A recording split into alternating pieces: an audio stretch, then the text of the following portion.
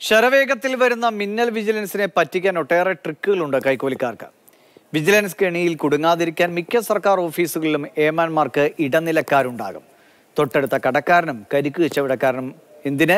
Comfort സ്റ്റേഷന്റെ നോട്ടക്കാർ വരെ ഇത്തരത്തിലുള്ള പിരിവുകാരായിരിക്കും. സർക്കാർ ജീവനക്കാരുടെ സ്വത്ത് വിവരങ്ങൾ വിജിലൻസ് നിരീക്ഷിച്ചാൽ തന്നെ നെല്ലും പതിരും തിരിച്ചറിയാൻ കഴിയും.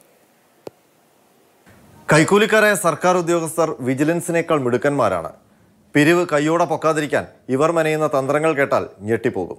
കളക്ടറേറ്റിൽ കാര്യം നടക്കണമെങ്കിൽ കംഫർട്ട് സ്റ്റേഷന് മുന്നിൽ കാശ് പിരിക്കാനിരിക്കുന്നയാൾ വിചാരിക്കണം.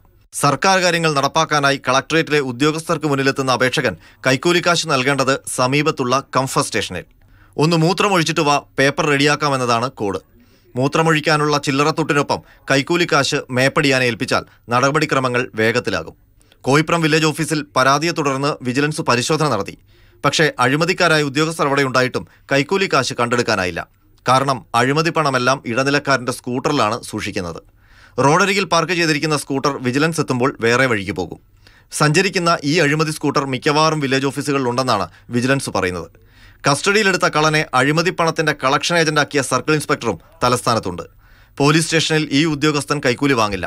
പകരം റെയിൽവേ സ്റ്റേഷനിലിരിക്കുന്ന കളക്ഷൻ ഏജന്റായ കള്ളനെ കാശ് ഏൽപ്പിച്ചാൽ മതി. കള്ളനെ മറ്റൊരു കേസിൽ കാശുമായി പൊക്കിയതോടെ സി എയും പിടിയിലായി.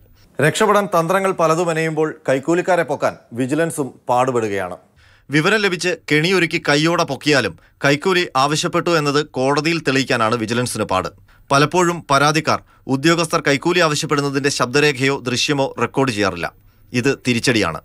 പിന്നീട് കേസ് കോടതിയിൽ വരുമ്പോൾ വർഷങ്ങളായി നടന്നു തേഞ്ഞ പരാതിക്കാരൻ തന്നെ കൂറുമാറിയേക്കും. പ്രതി സാക്ഷികളെ സ്വാധീനിക്കുന്ന കേസുകളും കുറവല്ല. എല്ലാ സർക്കാർ ഉദ്യോഗസ്ഥരും അഴിമതിക്കാരല്ല. പക്ഷെ കൈക്കൂലിക്കാരായി ചിലരെങ്കിലുമുണ്ട്. സർക്കാർ ഉദ്യോഗസ്ഥരുടെ ജീവിതശൈലിയും അവർക്ക് ലഭിക്കുന്ന ശമ്പളവും താരതമ്യം ചെയ്ത് വിജിലൻസിന് നിരീക്ഷിക്കാൻ കഴിഞ്ഞാൽ തന്നെ പലരും വലയിലാകും. പക്ഷേ അതുണ്ടാകുന്നില്ല. R Ananthakrishnan Mathrubhumi news Thiruvananthapuram.